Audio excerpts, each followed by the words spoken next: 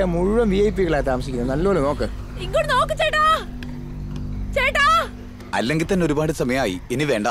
Sir ഇങ്ങോട്ട് നോക്ക് sir. അടുത്ത പ്രാവശ്യം വരുമ്പോ നമുക്ക് നോക്കാം. ചേച്ചി.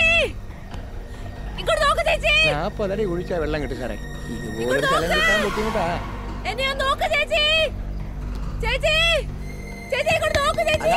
അതെന്താ അവിടെ നിന്ന് കഴിഞ്ഞോട്ട് വെളിച്ചം ഇങ്ങോട്ട് വരുന്നേ? ചേച്ചി ഇങ്ങോട്ട് നോക്ക്. അല്ല. അതൊരു ടോർച്ചിട്ട് വെളിച്ചം പോലെ ഉണ്ടല്ലോ അതെന്താന്ന് പോയി നോക്കിയിട്ട് വരാം? അവിടുന്ന് ആരോ വിളിക്കുന്ന പോലെ ഉണ്ട് ഇങ്ങോട്ട് വാ ചേട്ടാ. ചേച്ചി. മാറ്. ആ, ഇങ്ങോട്ട് വാ. ദേ അങ്ങോട്ട് നോക്കി ആ ലൈറ്റ് ഇപ്പൊ അത് ഏതോ വലിയ പണക്കാരന്റെ വീടാ സാറേ? ഇടയ്ക്കിടയ്ക്കൊക്കെ അവിടെ ഓരോ പാർട്ടികൾ നടക്കാറുണ്ട്. അയ്യോ എന്നാ അതെ നമുക്ക് പോകാം നമുക്ക് പോകാം വാ ഞാനിവിടെ ഉണ്ട്. എന്നെ രക്ഷപ്പെടുത്ത്. ഒന്നെന്നെ നോക്ക്, please. ചേട്ടാ, ചേച്ചി, ചേച്ചി പോവല്ലേ? Please. ചേച്ചി, please, പോവല്ലേ, ചേച്ചി? ചേച്ചി.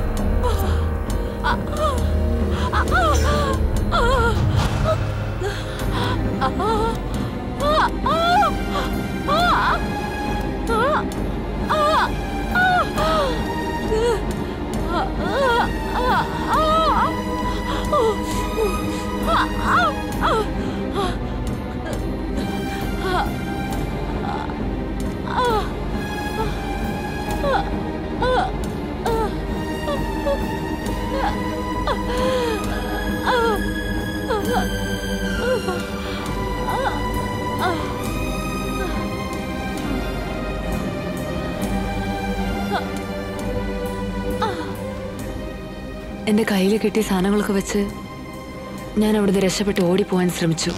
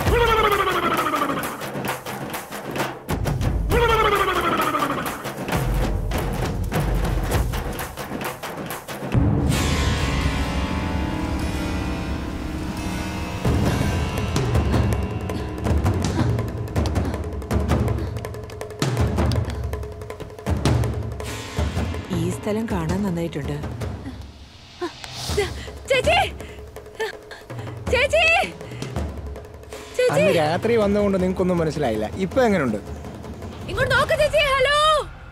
ഇങ്ങോട്ട് നോക്ക്.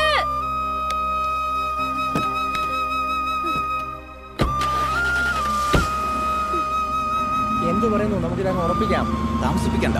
പെട്ടെന്ന് ഓണറുമായിട്ട് ഒരു സിറ്റിംഗ് അയക്കാം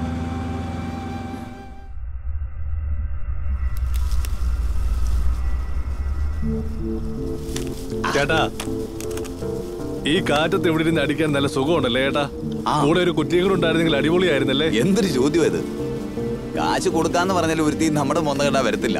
എന്നാ പറയാനാ? നമ്മുടെ ജീവിതം ഈ ബീച്ചിലിരുന്ന് കള്ളു കുടിച്ച് തീർക്കാനേ പറ്റൂ.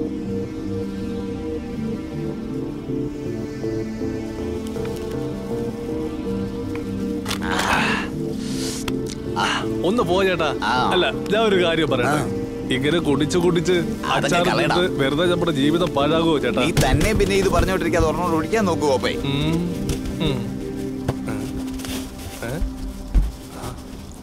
അതെന്തോന്നും കുന്തവാ. ഹെൽപ്പ് മീ എന്നാണല്ലോ ചേട്ടാ എഴുതിയേക്കുന്നത്. എന്താ സംഭവത്തൊന്ന് നോക്കിയാലോ?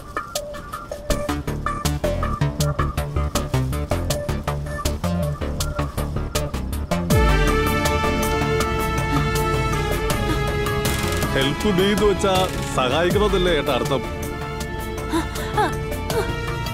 അതെ ആ സൈഡിൽ നിന്ന് ഇത് പറന്നു വന്നതെന്ന് തോന്നുന്നു ചേട്ടാ.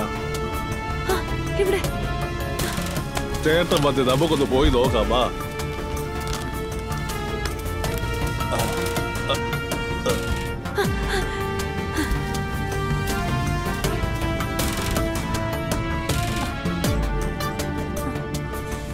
എനിക്ക് തോന്നുന്നു അവിടെ നന്നാ അങ്ങോട്ട് നോക്ക്.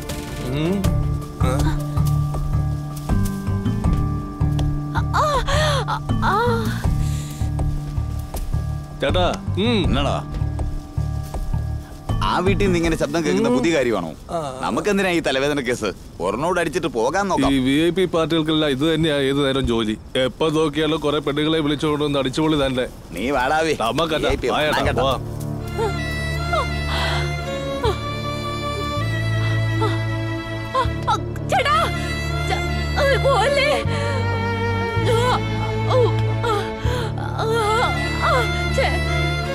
ചേട്ടാ നിക്ക് ചേട്ടാ ആ,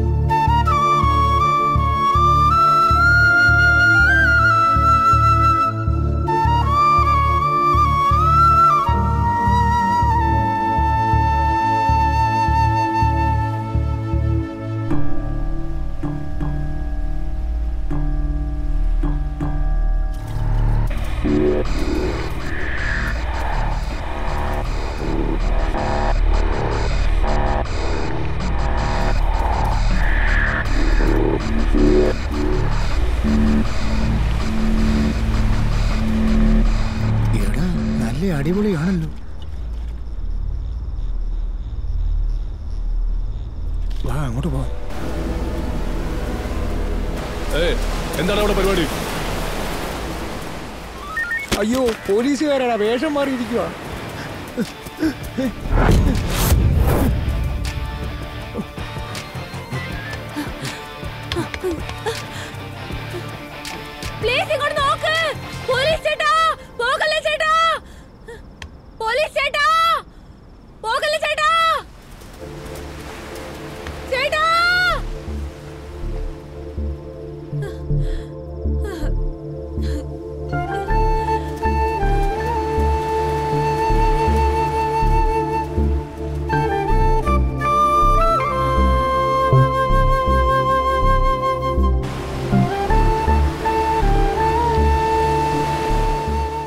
വിശപ്പും പേടിയും ഒറ്റപ്പെടലും ചേർന്ന് അടുത്ത് എന്താ ചെയ്യേണ്ടതെന്ന് എനിക്ക് ആലോചിക്കാൻ പോലും വയ്യായിരുന്നു.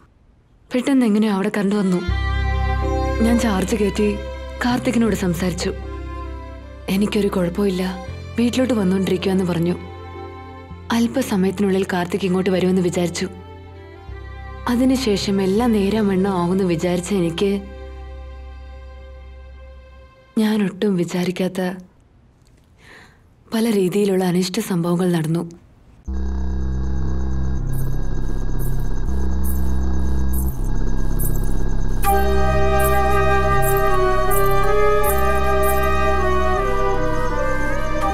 മൂന്ന് ദിവസം ഒരു തരി ആഹാരം പോലും കഴിക്കാത്ത ഞാൻ ആകെ ആവശ്യ നിലയിലായിരുന്നു. അതുകൊണ്ട് കഴിക്കാൻ എന്തെങ്കിലും കിട്ടുമോ എനിക്ക്? അല്ലെങ്കിൽ കുടിക്കാൻ എന്തെങ്കിലും കിട്ടുമോ എന്ന് കരുതി ഞാൻ ഞാൻ ആ റൂമിലേക്ക് ചെന്നു.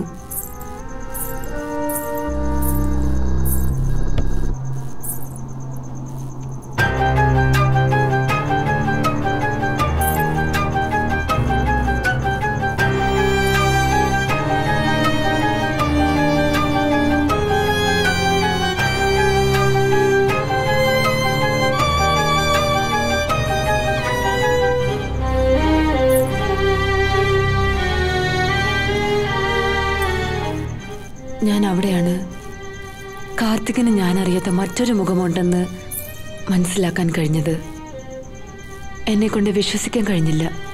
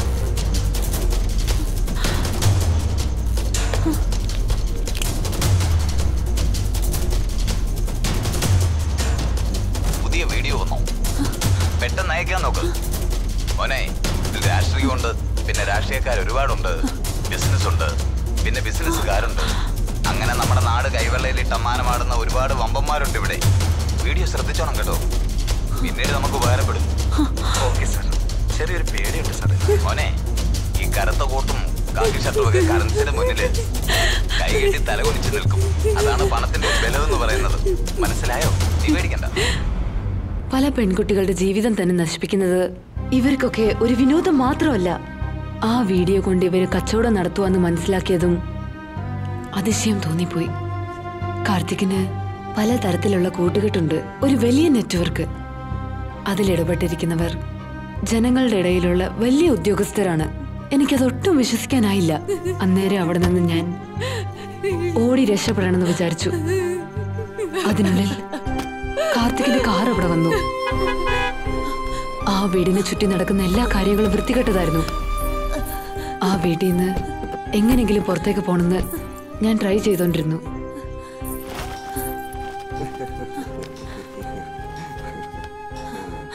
എല്ലാവരും അടിച്ചു പൊളിച്ച് ജീവിക്കാൻ വേണ്ടിയാ ബിസിനസ് ചെയ്യുന്നത്.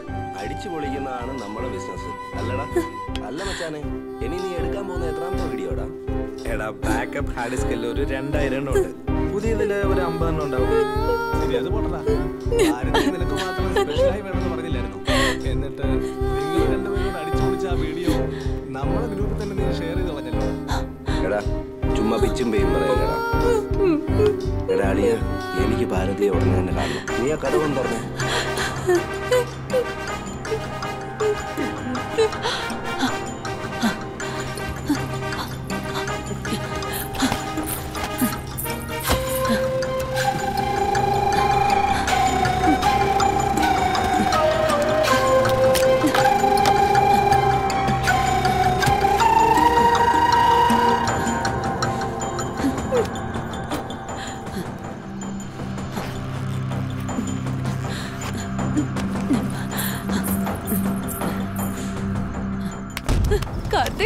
കാർത്തിക് എന്നെ വിടാൻ പറ കാർത്തിക് കാർത്തിക് കാർത്തിക് പ്ലീസ് കാർത്തിക് എന്നെ വിടാൻ പറ കാർത്തിക് കാർത്തിക്.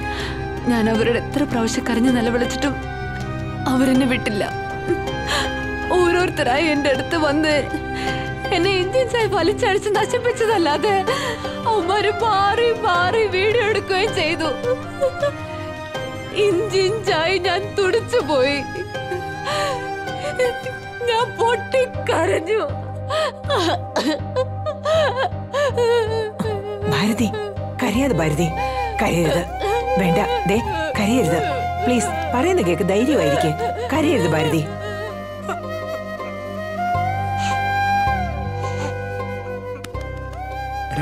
ഇത് കണ്ടോ? ഷോ എന്തൊരു കഷ്ടമായി പോയി.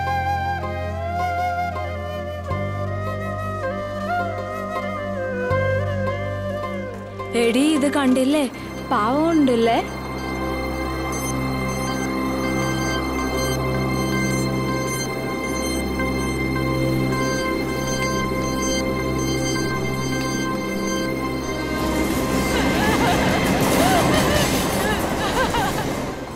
ധൈര്യമായിരിക്കും പ്ലീസ് പറയുന്നത് കേക്ക്.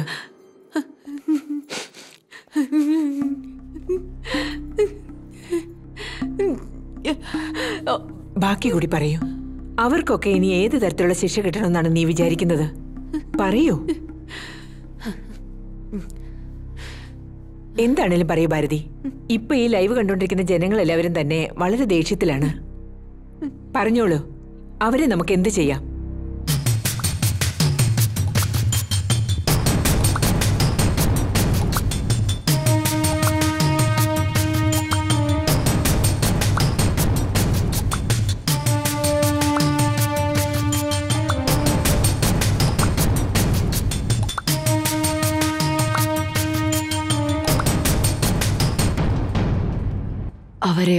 ചെയ്യണ്ട.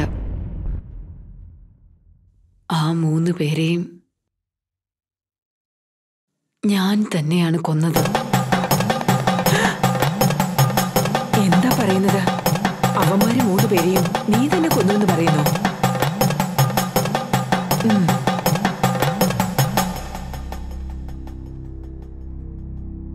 കാർത്തികിനെ പോലെ ഉള്ളവന്മാര് ഒരു ഗ്രൂപ്പായിട്ട് ചേർന്നുകൊണ്ട് ഇതുപോലുള്ള വൃത്തികെട്ട പ്രവൃത്തികൾ ചെയ്യുന്നതിനുള്ള കാരണം അനുഭവിച്ച എല്ലാ പെണ്ണുങ്ങളും പുറത്ത് പറയില്ല എന്നുള്ള ധൈര്യത്തിലാണ്.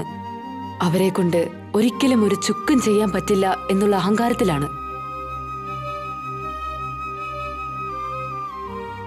ഒരു പക്ഷെ ആക്ഷൻ എടുക്കുവാണെങ്കിൽ അത് നമ്മുടെ ഉന്നത തലത്തിലുള്ള സംവൃതം ഉപയോഗിച്ച് പെട്ടെന്ന് തന്നെ പുറത്തു വരാന്നുള്ള ആണത്വം. ഇത് തന്നെയാണ് അവന്മാരെടുക്കുന്ന അവസാനത്തെ വീഡിയോ ആയിരിക്കണമെന്ന് അപ്പൊ തന്നെ ഞാൻ തീരുമാനിച്ചുറപ്പിച്ചു.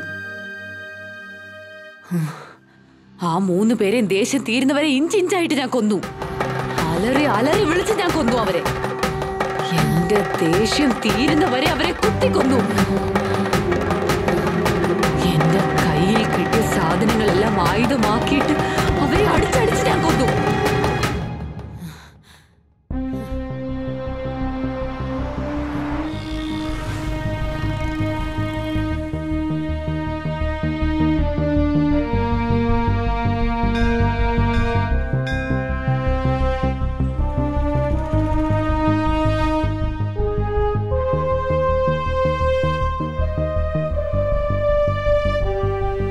ചെയ്തതാ മോളെ കറക്റ്റ് കാര്യം. ഇവന്മാരെ ഒന്നും ഒരിക്കലും വെറുതെ വിടരുത്.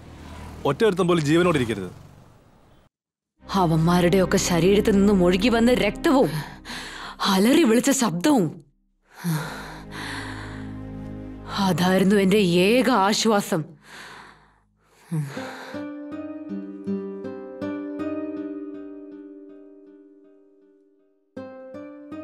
എന്തിനായിരുന്നു ഭാരതി ഇതൊക്കെ? ഇപ്പോ ഉള്ള ജനങ്ങളുടെ മാനസികാവസ്ഥയിൽ നിങ്ങളെപ്പോലുള്ള ഒരു പെൺകുട്ടിക്ക് എന്തെങ്കിലും സംഭവിച്ചാൽ പബ്ലിക്കും മീഡിയയും ഒരിക്കലും വെറുതെ ഇരിക്കില്ല. അവരൊരു ശിക്ഷ കൊടുക്കാതെ ഒരിക്കലും പിന്മാറില്ല. ധൃതി വെച്ച് നിങ്ങൾ തന്നെ ഒരു ശിക്ഷ കൊടുത്തല്ലോ. ഓരോ ദിവസവും സ്ത്രീകളുടെ മേൽ അടിച്ചേൽപ്പിക്കുന്ന പീഡന കേസുകളും എത്ര ഭയാനകമായിരിക്കുന്നു. പേപ്പറിലും ടി വിയിൽ കൂടിയും നമ്മൾ എല്ലാവരും കണ്ടോണ്ടിരിക്കുമല്ലേ ഒന്ന് രണ്ട് ദിവസം കൊണ്ട് എല്ലാവരും ആ കാര്യങ്ങളൊക്കെ മറന്നു പോകുന്നു. അതങ്ങനെ കടന്നു പോകുന്നു. തെറ്റ് ചെയ്യുന്ന എല്ലാവരും അവർ ചെയ്തുകൊണ്ട് തന്നെയല്ലേ ഇരിക്കുന്നത്? എന്റെ പ്രശ്നങ്ങൾ പുറത്തു വന്നാൽ ഉടനെ തന്നെ ടി വിയിൽ ഫ്ലാഷ് ന്യൂസ് ആയിട്ട് വരും ഒരു രണ്ടു മൂന്ന് ദിവസം വരെ വിവാദം തന്നെയായിരിക്കും. അതിൽ രണ്ടുപേര് സർവതും അനുഭവിച്ച എനിക്ക് തന്നെ അഡ്വൈസ് ചെയ്യാൻ വരും.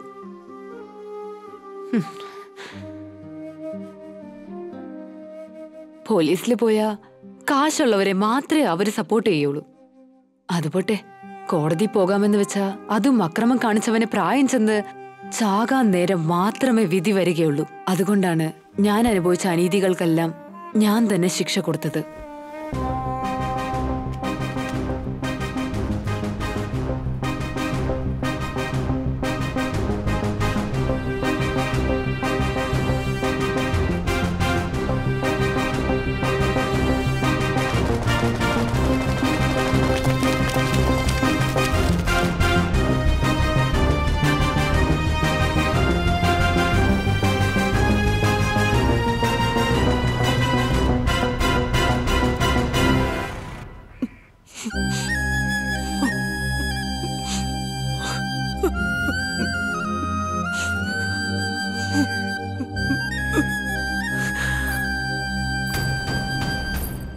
എന്നെ പോലെ ഒരാണിനെ കുറിച്ച് ഒന്നും മനസ്സിലാക്കാതെ ആരും തന്നെ ഫേസ്ബുക്കിൽ കൂടി പരിചയപ്പെട്ട് ഇതുപോലെ ജീവിതം ഇല്ലാതാക്കുന്ന പെൺകുട്ടികൾക്ക് എന്റെ ചെറിയൊരു മെസ്സേജ്. കല്യാണത്തിന് മുൻപ് നിങ്ങളോടൊപ്പം കിടക്കയിൽ ക്ഷയിക്കുന്നവൻ. സെക്സി ഡ്രസ് അണിഞ്ഞ് വീഡിയോയിൽ പകർത്തുകയും ചെയ്ത് അത് സൂക്ഷിച്ചു വെക്കുന്നവൻ. അതല്ല അങ്ങനെ എടുത്ത് അയക്കാൻ പറയുന്നവൻ. ഇവന്മാരിൽ ആരും തന്നെ ഒരു പെണ്ണിനെയും കല്യാണം കഴിക്കാൻ ആഗ്രഹിക്കില്ല. ഞാൻ ഈ പറയുന്ന കാര്യങ്ങളെല്ലാം നിങ്ങളെപ്പോലുള്ള പെൺകുട്ടികൾ മനസ്സിലാക്കണം. കുറഞ്ഞ ഭക്ഷണമെങ്കിലും ഒരു പെണ്ണ് മാനസികമായും ശാരീരികമായും രണ്ടല്ല മൂന്നല്ല ഇതൊന്നും പോരാ. ഒരഞ്ചാറ് ആണുങ്ങളെങ്കിലും ഒരേ നേരത്തെ തന്നെ അടിച്ച് കൊല്ലാണല്ലോ ഒരു മാനസിക നില നമ്മൾ ഉണ്ടാക്കിയെടുക്കണം. ആണെന്ന വർഗത്തെ തിരുത്താൻ കഴിയില്ല. എന്നാൽ നമുക്ക് അടക്കാൻ കഴിയും. നിയമം പൊതുജനം മീഡിയ ഇതൊക്കെ ചുമ്മാതാ. വെറുതെ പരസ്യങ്ങൾക്കും വാർത്തകൾക്കും മാത്രമാണ്. നമ്മൾ അനുഭവിക്കുന്ന ദുഃഖങ്ങൾക്ക് അറുതി വരണമെങ്കിൽ നമ്മൾ എടുക്കുന്ന തീരുമാനങ്ങളായിരിക്കും ശരി. എങ്കിലേ ആണുങ്ങളൊക്കെ ഒന്ന് പേടിക്കുള്ളൂ. പെണ്ണുങ്ങളെ കണ്ട് ഭയപ്പെടണം. എങ്കിൽ മാത്രമേ സ്ത്രീകൾക്ക് ഒരു യഥാർത്ഥ സ്വാതന്ത്ര്യം കിട്ടുകയുള്ളൂ.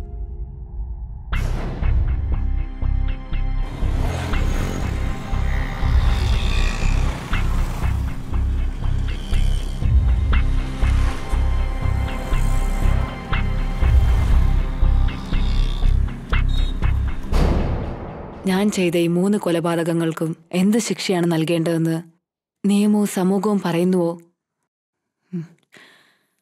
അത് സ്വീകരിക്കാൻ തയ്യാറാണ്. ഇതേ പറയാനുള്ളൂ. ഇങ്ങോട്ട് വരൂ. നിങ്ങൾക്ക് എന്തെങ്കിലും അറിയോ ആ ഇതിനെക്കുറിച്ച് എനിക്കറിയില്ല മാഡം. സ്ത്രീത്വത്തെ അപമാനിച്ച് വിഷമുള്ളുകൾ പാതയിൽ വിതച്ച് വഴിതെളിക്കുന്നു നമ്മുടെ സമൂഹം. ആധുനിക വനിതയെന്ന് ഡിജിറ്റൽ ലോകത്തിലേക്ക് മനസ്സർപ്പിച്ച് ചാരിത്രം നഷ്ടപ്പെടുത്തുന്ന കലിയുഗം. കുരുന്നു ബാല്യങ്ങളെ കൃഷ്ണമണി പോലെ സൂക്ഷിക്കാം. സ്ത്രീത്വം ജ്വാലയായി ഉയരട്ടെ. സ്നേഹപൂർവം സംവിധായകൻ രാഹുൽ.